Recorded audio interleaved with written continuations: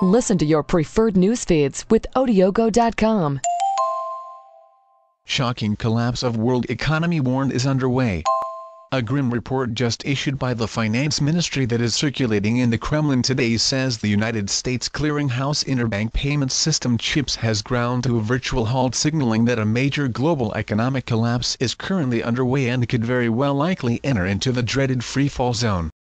Virtually unknown to all but the global financial elite, CHIPS is the main privately held clearinghouse for large value transactions in the United States settling well over $1 trillion a day in around 250,000 interbank payments that together with the FedWire Fund Service, which is operated by the Federal Reserve Banks, forms the primary U.S. network for large value domestic and international U.S. dollar payments where it has a market share of around 96%.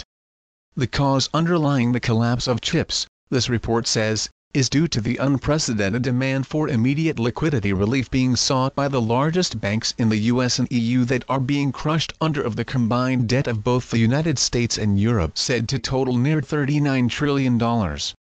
Important to note is that what is currently happening is a virtual repeat of the 2008 financial crisis that the United States Senate's Levin Coburn report found was not a natural disaster, but the result of high-risk, complex financial products undisclosed conflicts of interest,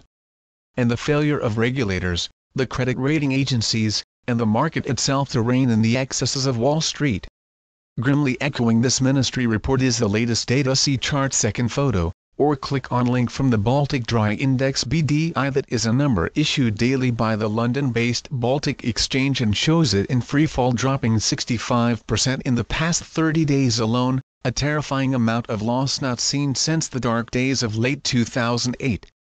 Not restricted to Baltic Sea countries, the BDI tracks worldwide international shipping prices of various dry bulk cargoes that has collapsed so severely global shipping has all but ceased thus leaving our world's largest transport ships anchored and empty off the coast of Singapore photo third right in what is described as the biggest and most secretive gathering of ships in maritime history whose numbers are equivalent to the entire British and American navies combined.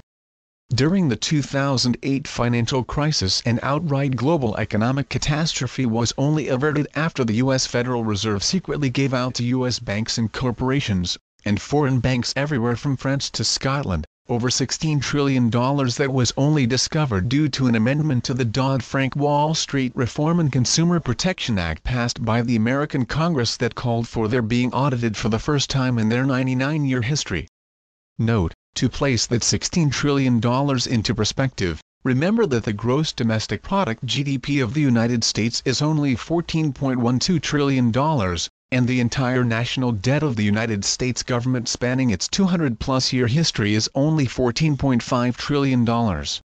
Curiously, the aforementioned amendment to the Dodd-Frank law only called only for a one-time audit of any emergency lending facility established by the Federal Reserve since December 1, 2007 and ending with the date of enactment of the law when it was signed by President Obama on July 21, 2010 thus keeping hidden from the American people who is getting their money. To if anyone in the world, even the powerful U.S. Federal Reserve, has the power to avert this coming catastrophe, this ministry report warns, it is unlikely due to the cascading collapse of the global derivative market due to the mounting gridlock in liquidity that U.S. billionaire and Obama confidant Warren Buffett warned back in 2003 were financial weapons of mass destruction. Though the word derivative sounds complicated and technical, understanding them is really not that hard. A derivative is essentially a fancy way of saying that a bet has been made. Originally, these bets were designed to hedge risk, but today the derivatives market has mushroomed into a mountain of speculation unlike anything the world has ever seen before. Estimates of the notional value of the worldwide derivatives market go from $600 trillion all the way up to $1.4 quadrillion. $1.4 quadrillion is roughly, minus 40 times the world's stock market. Minus 10 times the value of every stock and every bond on the planet. Minus 23 times world GDP